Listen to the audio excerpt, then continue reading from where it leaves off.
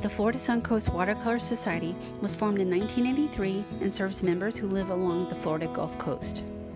Our area is referred to as the Suncoast, the west central and southwest Florida coast between Tarpon Springs and Naples.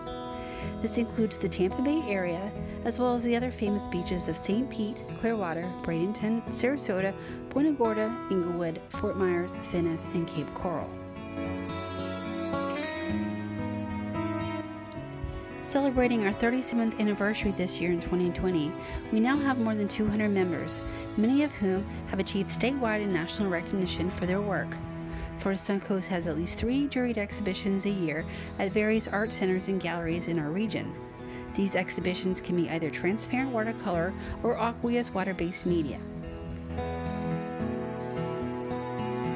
Due to the COVID 19 pandemic, we are hosting our first online member exhibition this fall on our newly renovated website.